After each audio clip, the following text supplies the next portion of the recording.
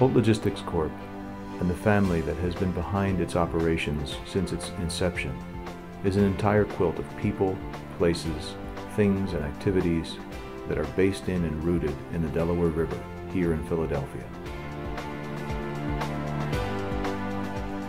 In the transportation industry, the roots of Holt Logistics Corp. and our family business began with our grandfather, Leo Holt, in 1926.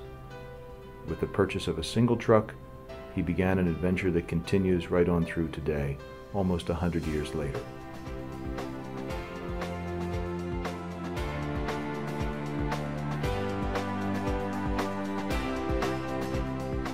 Holt Logistics Corp.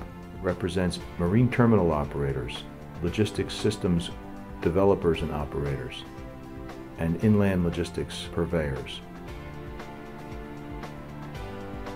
In the past, their operations have been as far flung as Puerto Rico, Jacksonville, Florida, and California. In 2011, Riverside Renewable Energy was born, a project which is still groundbreaking and still the largest rooftop solar array in North America, creating 9 megawatts of clean energy each year for powering the terminal's massive refrigerated capacity.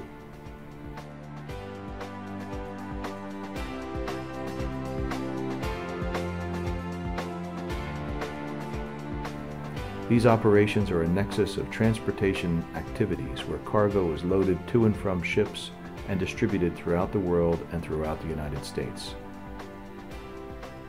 The client companies of Holt Logistics Corp handle cargo from many places in the world and many types as well. These include perishable fruit products, meat products, dairy products, and other perishable goods. In addition to these products, many manufactured goods, such as automobiles, steel, wood products, and a variety of consumer goods are handled daily throughout the terminals. Holt Logistics Corp maintains the highest levels of safety and quality for the food products and the very high quality manufactured goods that it handles through its separately managed affiliates. The Gloucester Marine Terminals, for instance, has been awarded the 360 Quality Certification, one of the highest quality certifications of its type for handling bulk fruit products. In the rapidly growing world of containerized cargo, Holt Logistics Corp has a separately managed affiliate known as Greenwich Terminals. Greenwich Terminals is the operator of the Packer Avenue Marine Terminal, over 110 acres in size, the Packer Avenue Marine Terminal is the largest and most modern marine terminal in the Port of Philadelphia.